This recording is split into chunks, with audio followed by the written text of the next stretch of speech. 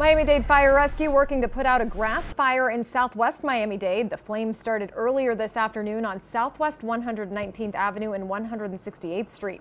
Officers got there to find about five acres burned. Crews worked with the Florida Forest Service to get the fire under control, attacking it from both the air and the ground. No injuries were reported, and that cause of the fire, it's still being looked into.